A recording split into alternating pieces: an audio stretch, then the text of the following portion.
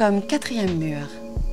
Au théâtre, le quatrième mur désigne un mur imaginaire situé sur le devant de la scène, séparant la scène des spectateurs et au travers duquel ceux-ci voient les acteurs jouer. L'expression briser le quatrième mur fait référence aux comédiens sur scène qui s'adressent directement au public.